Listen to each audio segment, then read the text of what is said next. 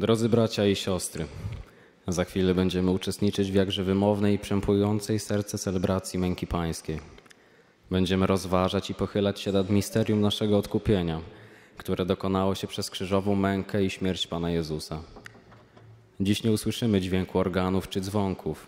Ołtarz pozostanie nadal obnażony. Zgodnie ze starożytną tradycją Kościół Święty Wielki Piątek nie sprawuje Eucharystii. Doskonałą ofiarę składa dzisiaj za nas na ołtarzu krzyża sam Jezus Chrystus. Dziś będziemy opłakiwać grzeszność człowieka, przez którą nasz Zbawiciel tyle wycierpiał. Warto też przypomnieć, że Wielki Piątek nie jest dniem żałoby w Kościele. Jest natomiast dniem kontemplacji krwawej ofiary Chrystusa, źródła naszego zbawienia. Celebracja tego dnia jest podzielona na cztery części. Liturgię Słowa, adorację krzyża, komunię świętą i przeniesienie Najświętszego Sakramentu do grobu Pańskiego. Czerwony kolor szat liturgicznych, kolor krwi, przypomina nam mękę Chrystusa, która została podjęta przez Zbawiciela z miłości do nas i każdego człowieka. Liturgię rozpocznie procesja wejścia, która dokona się w milczeniu. Po wejściu i oddaniu czci ołtarzowi celebrant spadnie na twarz przed ołtarzem, a my wszyscy uklękniemy, aby przez cichą modlitwę w głębi naszych serc przygotować się do rozważenia męki śmierci Chrystusa. Postawa leżenia krzyżem jest znakiem największego uniżenia się człowieka przed Bogiem i Jego majestatem. Następnie rozpocznie się pierwsza część liturgii. Pierwsze czytanie z księgi proroka Izajasza ukaże nam obraz cierpiącego sługi Jahwe, który jest ikoną cierpiącego Chrystusa. Drugie czytanie z listu do Hebrajczyków wyjaśni nam, że dostąpiliśmy zbawienia dzięki posłuszeństwu Chrystusa, które objawiło się poprzez ofiary z własnego życia na ołtarzu krzyża. W Ewangelii usłyszymy opis męki pańskiej według świętego Jana.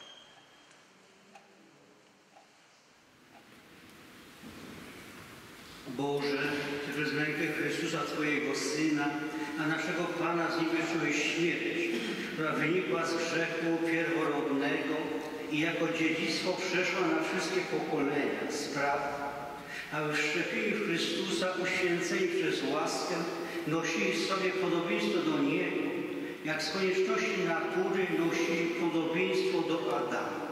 Przez Chrystusa Pana naszego. Czytanie z księgi proroka Izajasza. Oto się powiedzi mojemu słudze, wybije się, wywyższy i bardzo wyrośnie. Jak wielu osypiało na jego widok, tak nieludzko został oszpecony jego wygląd i postać jego była niepodobna do ludzi. Tak mnogie narody się zdumieją. Królowie zamkną przed nim usta, bo ujrzał coś, czego im nigdy nie opowiadano i pojmą coś niesłychanego. Któż uwierzy temu, co usłyszeliśmy? Komu się ramię pańskie objawiło? On wyrósł przed nami jak młode drzewo, jakby korzeń z wyschniętej ziemi. Nie miał on wdzięku ani też blasku, aby chcia chciano na niego popatrzeć, ani wyglądu, by się nam podobał. Wzgardzony, odepchnięty przez ludzi, mąż boleści, oswojony z cierpieniem, jak ktoś, przed kim się twarz zakrywa, skardzony tak, iż mieliśmy go za nic. Lecz On się obarczył naszym cierpieniem, On dźwigał nasze boleści, A my uznaliśmy go za skazańca, chłostanego przez Boga i zdeptanego. Lecz on był przebity za nasze grzechy, struzgotany za nasze winy. Spadła na niego chłosta zbawienna dla nas, a w jego ranach jest nasze uzdrowienie. Wszyscy pobłądziliśmy jak owce, każdy z nas się zwrócił ku własnej drodze, a Pan obarczył go winami nas wszystkich. Dręczono go, lecz sam pozwolił się gnębić, nawet nie otworzył ust swoich. Jak baranek na żyć prowadzony, jak owca nie ma, nie ma wobec strzygących ją, tak on nie otworzył ust swoich. Po udręce i sądzie został usunięty, a kto się przejmuje jego, jego losem?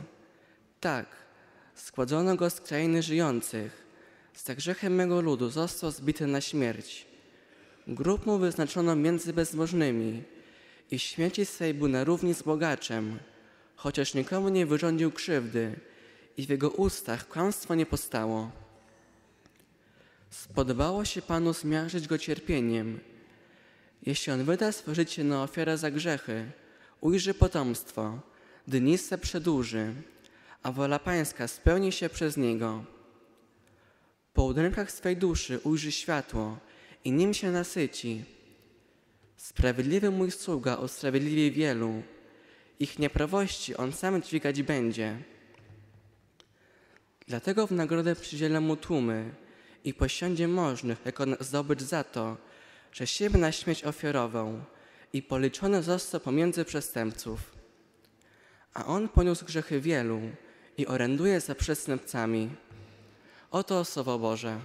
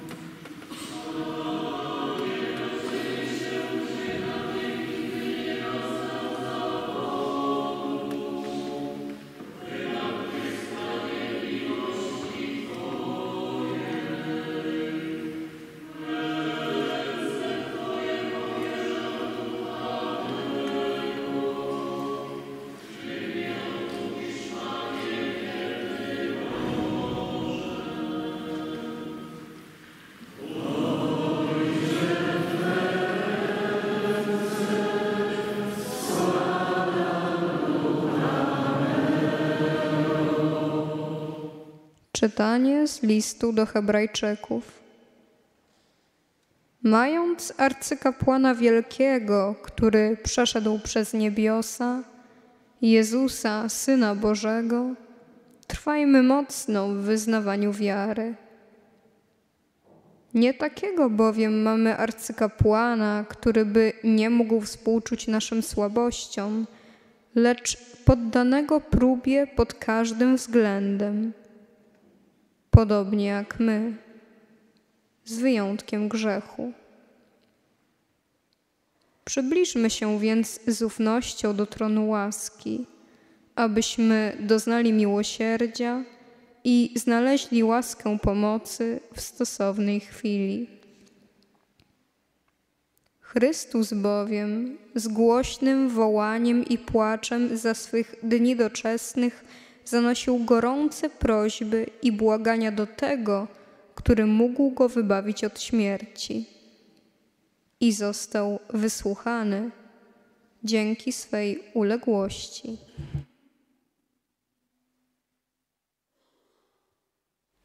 I chociaż był synem, nauczył się posłuszeństwa przez to, co wycierpiał. A gdy wszystko wykonał, stał się sprawcą zbawienia wiecznego dla wszystkich, którzy go słuchają. Męka naszego Pana Jezusa Chrystusa według świętego Jana. Po wieczerzy Jezus wyszedł z uczniami swymi za potok Cedron. Był tam ogród, do którego wszedł on i jego uczniowie. Także i Judasz, który go wydał, znał to miejsce, bo Jezus i uczniowie jego często się tam gromadzili. Judasz, otrzymawszy, otrzymawszy ko- kohortę oraz strażników od arcykapłanów i faryzeuszów, przybył tam z latarniami, pochodniami i bronią. A Jezus, wiedząc o wszystkim, co miało na niego przyjść, wyszedł naprzeciw i rzekł do nich. Kogo szukacie? Odpowiedzieli mu. Jezusa z Nazaretu. Rzekł do nich Jezus. Ja jestem. Również Judasz, który go zdradził, stał między nimi. Skoro więc rzekł do nich, ja jestem, cofnęli się i upadli na ziemię. Powtórnie ich zapytał. Kogo szukacie? Oni zaś odpowiedzieli. Jezusa z Nazaretu. Jezus odrzekł. Powiedziałem wam, że ja jestem. Jeżeli więc mnie szukacie, pozwólcie tym odejść. Stało się tak, aby się wypełniło słowo, które wy- wypowiedział. Nie utraciłem żadnego z tych, których mi dałeś.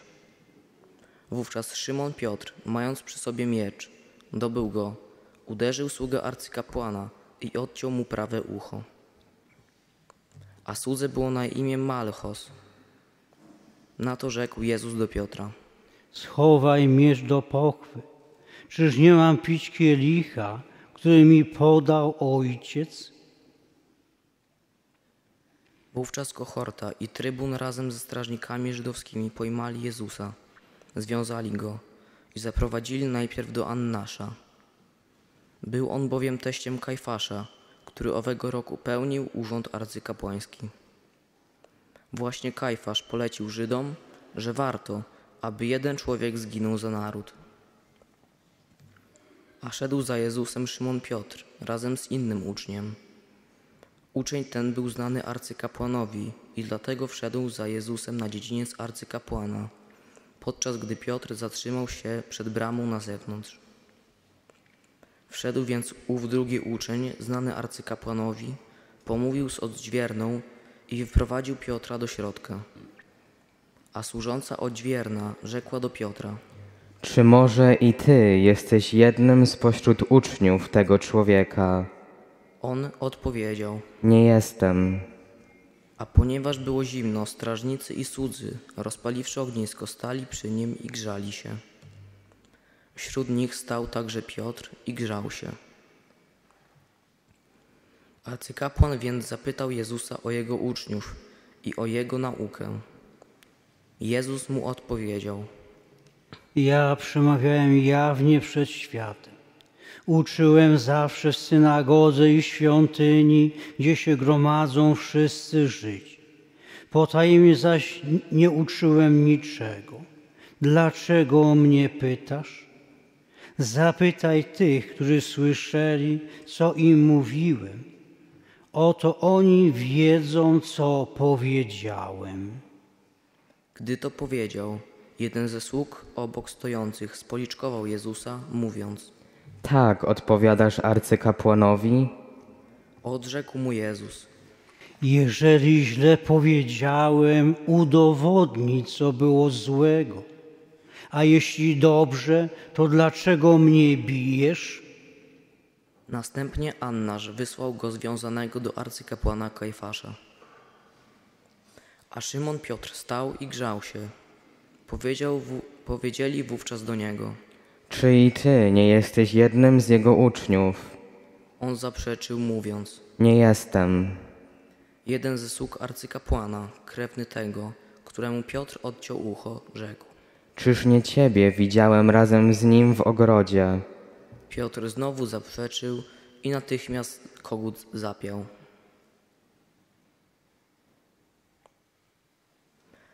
Od Kajfasza zaprowadzili Jezusa do pretorium, a było to wczesnym rankiem.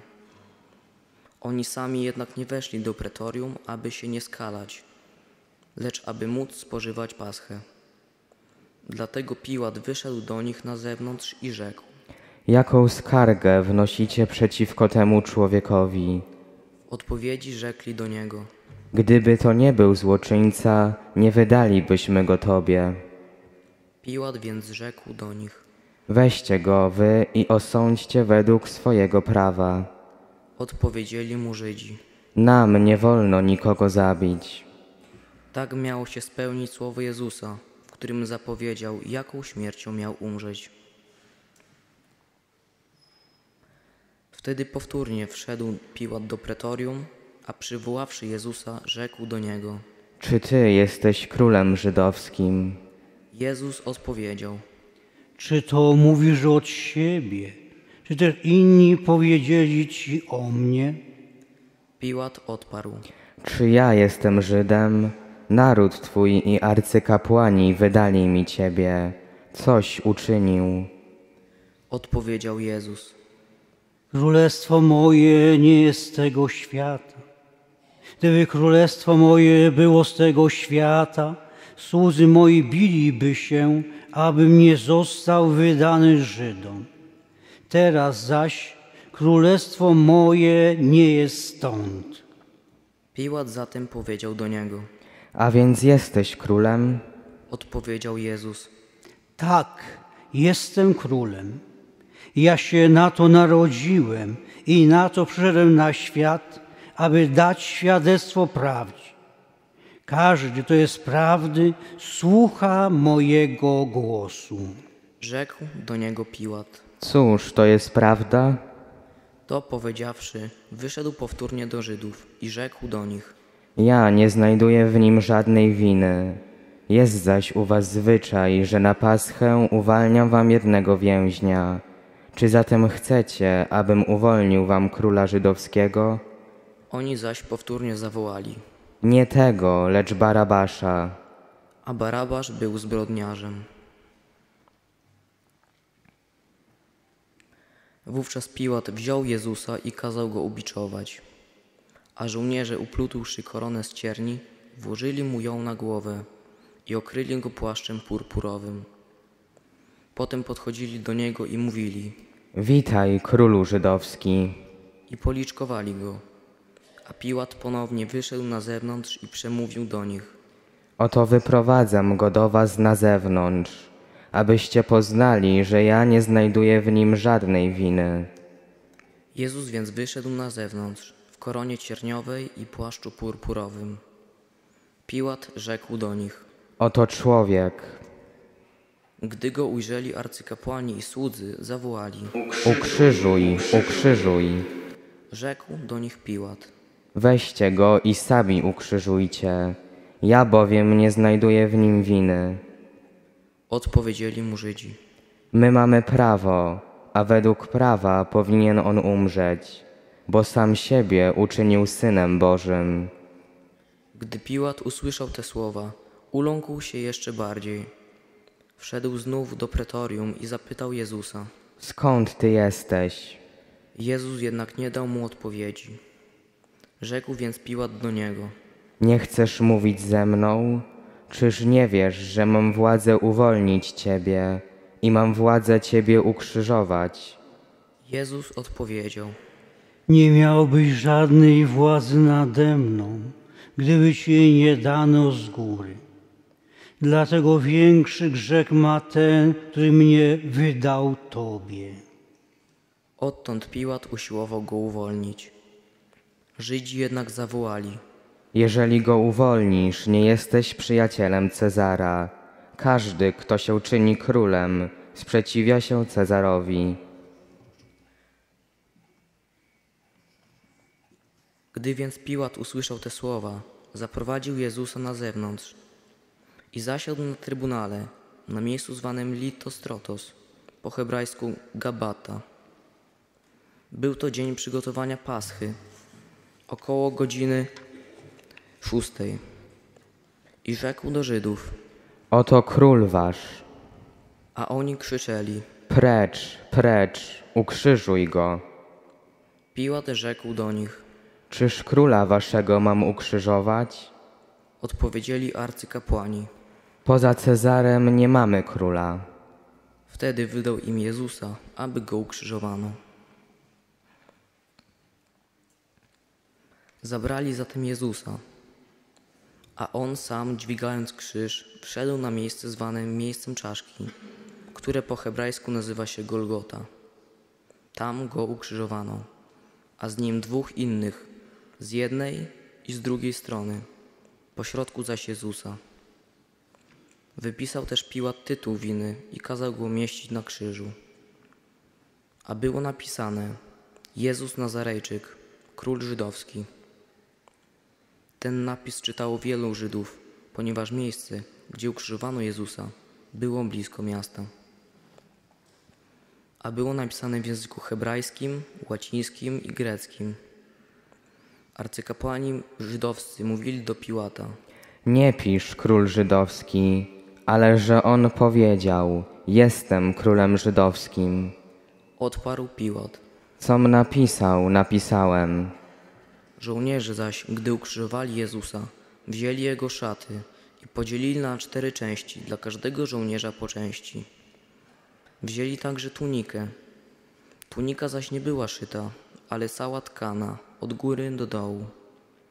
Mówili więc między sobą.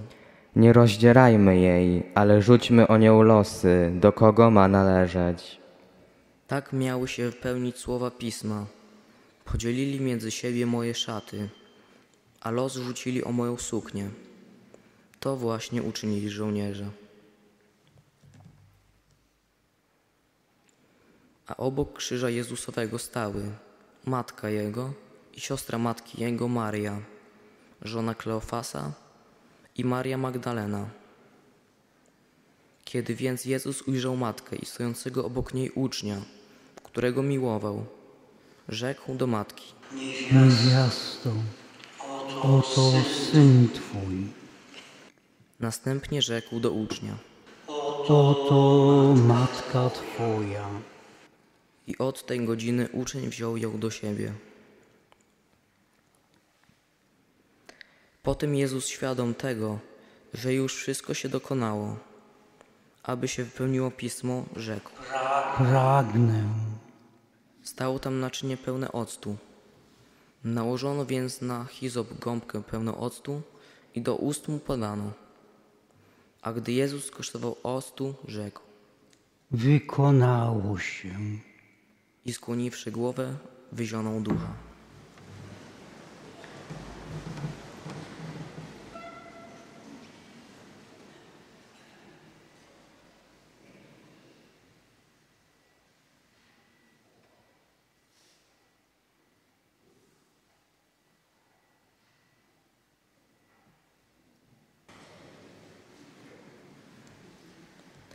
Był to dzień przygotowania, aby zatem ciała nie pozostawały na krzyżu w szabat. Ów bowiem dzień szabatu był wielkim świętem. Żydzi poprosili Piłata, aby ukrzyżowanym połamano golenie i usunięto ich ciała. Przyszli więc żołnierze i połamali golenie, tak pierwszemu, jak i drugiemu, którzy z nim byli ukrzyżowani. Lecz gdy podeszli do Jezusa i zobaczyli, że już umarł, nie łamali mu goleni, tylko jeden z żołnierzy włócznią przebił mu bok. I natychmiast wypłynęła krew i woda.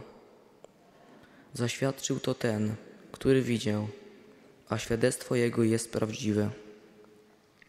On wie, że mówi prawdę, abyście i wy wierzyli. Stało się to bowiem, aby się wypełniło pismo. Kości jego nie będą łamane. I znowu w innym miejscu mówi pismo. Będą patrzeć na tego, którego przemodli. Potem Józef z Arymatei, który był uczniem Jezusa, lecz ukrytym z obawy przed Żydami, poprosił Piłata, aby mógł zabrać ciało Jezusa. A Piłat zezwolił. Poszedł więc i zabrał jego ciało. Przybył również Nikodem, ten, który po raz pierwszy przyszedł do Jezusa w nocy i przyniósł około stu funtów mieszaniny mirry i aloesu. Zabrali więc ciało Jezusa i obwiązali je w płótna razem z wonnościami, stosownie do żydowskiego sposobu grzebania. A na miejscu, gdzie go ukrzyżowano, był ogród. W ogrodzie zaś nowy grób, w którym jeszcze nikogo nie złożono. Tamto więc ze względu na żydowski dzień przygotowania złożono Jezusa, bo grób znajdował się w pobliżu. Oto słowo Pańskie.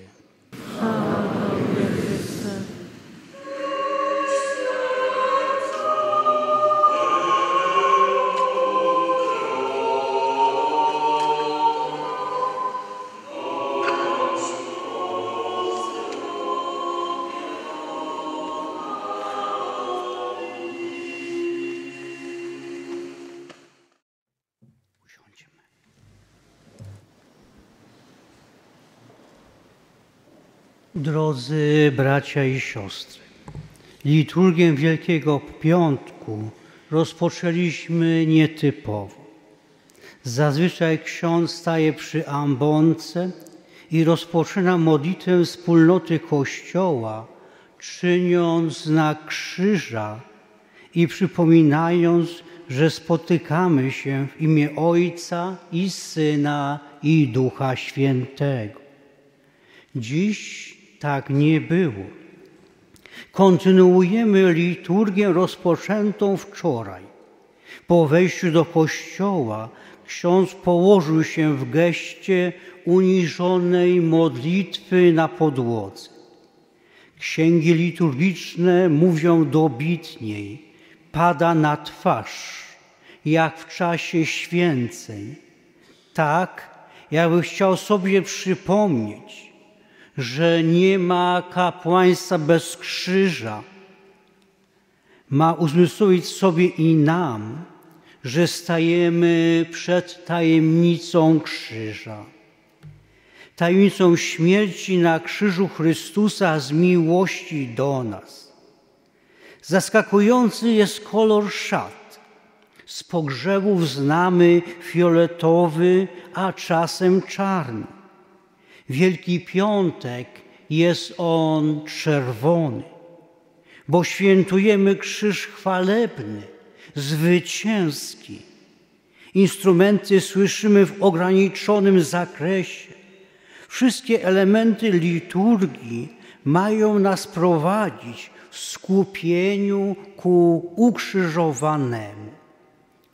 Słyszeliśmy czytania. W nich także jest o krzyżu Izajasz pisze proroctwo do Izraelitów w czasie ich kolejnej niewoli w Babilonii. Tekst ten daje wiele nadziei. Jesteście niewolnikami, jest wam ciężko, nie wierzycie, że to się zmieni, ale przyjdzie czas wolności. To nie tylko zapowiedź wolności, którą w końcu odzyskują, ale też zapowiedź Mesjasza, który odda życie za moje i Twoje grzechy. W czytaniu słyszymy, że to nie krew cielca daje nam życie, zbawienie, ale że to ofiara Mesjasza za nasze grzechy otworzy nam niebo. Ofiara miłości. O tej ofierze pisze autor listu, który słyszeliśmy jako drugie czytanie. Do chrześcijan pochodzenia żydowskiego napisał: Mamy zbliżyć się do Chrystusa ukrzyżowanego z ufnością.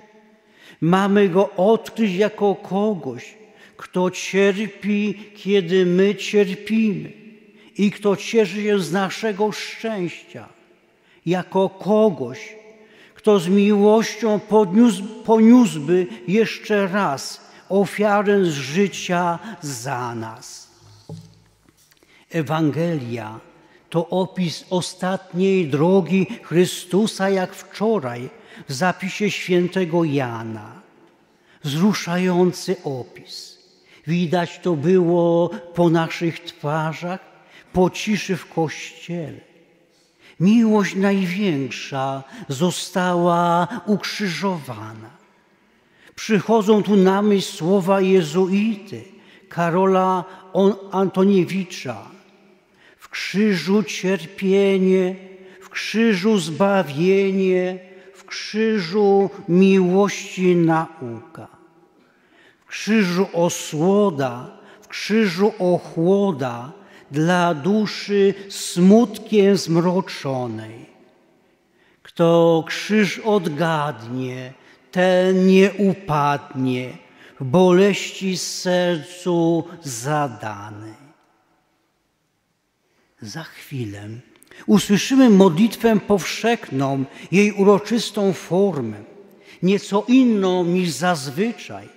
Będziemy modlić się za wspólnotę Kościoła, za chrześcijan, Żydów, osoby wierzące w jednego Boga, muzułmanów, za uznających Boga, za niewierzących Boga, za rządzących państwami, strapionych i cierpiących, za cały świat. Czasem bardzo rzadko są dodawane inne wezwania. Dwa lata temu o zakończenie pandemii koronawirusa. Przed rokiem z prośbą o zakończenie wojny na Ukrainie. Chcemy cały świat powierzyć ukrzyżowanemu. Dodajmy tu z serca wszystkie rzeczy, którymi przyszliśmy, szczególnie te, które wydaje się nam, że przerastają nas. To najlepszy moment. Po tej modlitwie będziemy adorować krzyż, który w trzech etapach będzie odsłaniany. To znowu mądrość wspólnoty Kościoła. Krzyż jest odsłaniany stopniowo, tak jak stopniowo zaczynamy go rozumieć w naszym życiu. Znajdźmy czas na jego adorację bez pośpiechu. Po adoracji ołtarz zostanie ubrany w obrus, świece, co będzie kolejnym znakiem, wręcz dowodem na to, że trwamy w jednej liturgii od wczorajszego wieczoru nie była sprawowana żadna inna. Po Komunii Świętej ołtarz na nowo będzie pozbawiony tych rzeczy. Spożyjemy ciało Pańskie przeistoczone na wczorajszej mszy świętej wieczerzy. Po komunii i modlitwie na, po i komunii, modlitwie Najświętszy Sakrament przyniesiemy do, do kaplicy adoracji Bożego Grobu. Ojcowie Kościoła mówili, że to łożnica, w której Chrystus odpoczywa po zwycięstwie na krzyżu. W grobie to Najświętszy Sakrament jest centrum, czyli żywy i prawdziwy Chrystus, który dla nas dał się ukrzyżować, a nie figura Chrystusa leżącego w grobie. Ona ma nam tylko dopomagać w modlitwie i zadumie. Na zakończenie liturgii nie będzie błogosławieństwa. Jak wczoraj ksiądz i służba liturgiczna w rozproszeniu przejdą do zakrystii. Po liturgii wielkopiątkowej, której centrum był krzyż, zaczyna się wielka cisza. W kościołach wschodnich mówi się wielka smuta. Jest ona jakby wstrzymaniem oddechu, zatrzymaniem się świata przez zmartwychwstanie. Zatrzymajmy się, zamilknijmy, nie róbmy niepotrzebnego zamieszania. Liturgia trwa nadal. Módlmy się za wszystkich braci wierzących